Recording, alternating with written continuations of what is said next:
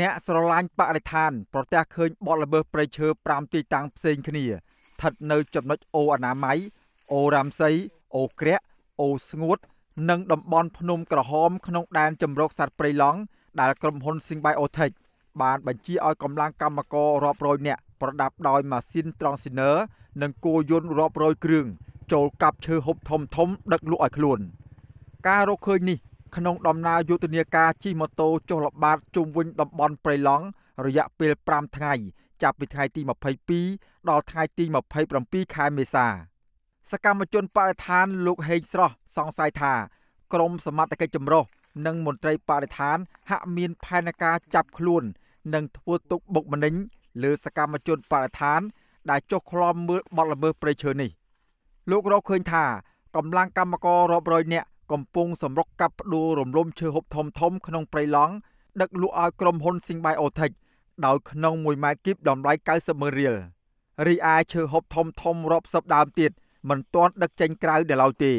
នឹងឲ្យពួកគាត់មិនបានចាប់ឬក៏ខាត់ខាំងទៅអ្នកដែលកាប់បំផ្លាញព្រៃឈើទេប៉ុន្តែពួកគាត់កំពុងតែព្យាយាម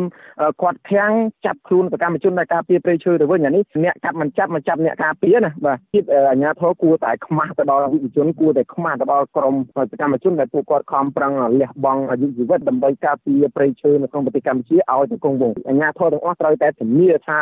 ព្រៃឈើនៅក្នុងក្នុងតំបន់ព្រៃឡង់គឺត្រូវមិនត្រូវឲ្យមានជនណាមួយចូលកាប់និងដឹកជញ្ជូនទេ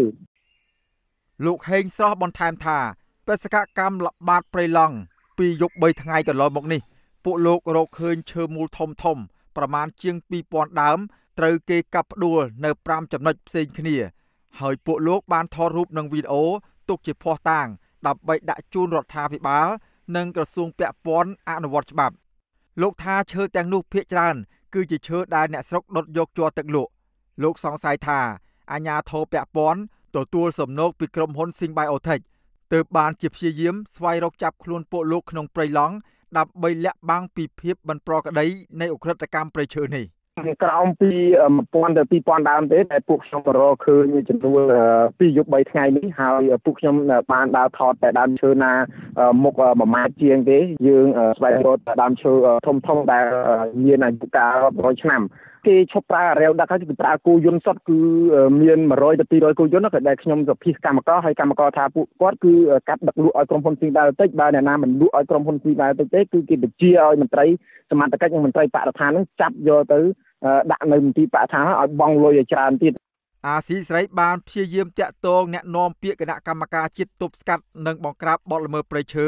លោកអេងហ៊ីដើម្បីសុំការបំភ្លឺអំពីរឿងនេះតែទូរស័ព្ទហៅចូលច្រើនដងគ្មានអ្នកទទួលនៅថ្ងៃទី23ខែមេសារីឯអ្នកនាំពាក្យក្រសួងកសិកម្មលោកស្រីវុធីមិនដែលលើកទូរស័ព្ទបំភ្លឺពីបទល្មើសព្រៃឈើម្ដងណាឡើយរហូតមកទល់នឹងពេលនេះចំណែកអ្នកនាំពាក្យក្រសួងបរិស្ថានលោកនេតភត្រាថ្លែងថាការធ្វើយុទ្ធនាការនេះ គឺជាសិទ្ធិរបស់ពួកគេក៏ប៉ុន្តែលោកស្នើសុំឲ្យធ្វើសកម្មភាពស្របច្បាប់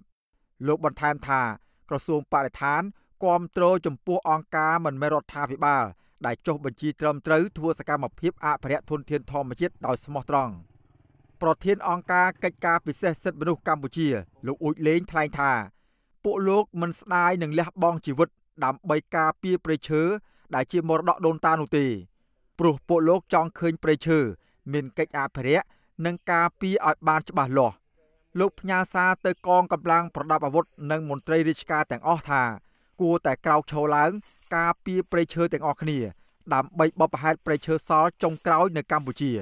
អ្វីដែលពួកយើងខំប្រឹងគឺថាសូមអុយខាងកងកម្លាំងអាវុធដូចជាមន្ត្រីរាជការទាំងអស់ត្រូវតែក្រោកឈរឡើងដើម្បីការពារព្រៃឈើការពារសម្បត្តិគេមរតកតាយើងមិនមែនការពារដើម្បីប្រឆាំងគឺបដិវត្តយកតំណែងដៅបណ្ដាញទៀតទេអ្វីដែលយើងចង់បានគឺចង់បានការពារព្រៃឈើការពារដោយលក្ខណៈ គង់វងពិតប្រកបមិនមែនលក្ខណៈការពារដើម្បីដណ្ដើមប្រយោជន៍គ្នាពុករលួយឥឡូវនេះគឺកំពុងតែធ្វើការបែងចែកប្រយោជន៍ហើយបានគេចាប់ផ្ដើមចំណាត់វិធានការមកលើខាងក្រុមការងារខ្ញុំអាស៊ីស្រីនៅពុំទាន់អាចតាក់ទងតំណាងក្រុមហ៊ុន Symbiotic ដើម្បីសុំការបំភ្លឺជុំវិញការចោទប្រកាន់រឿងប៉ុនប៉ងចាប់ខ្លួនសកម្មជនបរិស្ថាននេះបាននៅឡើយទេ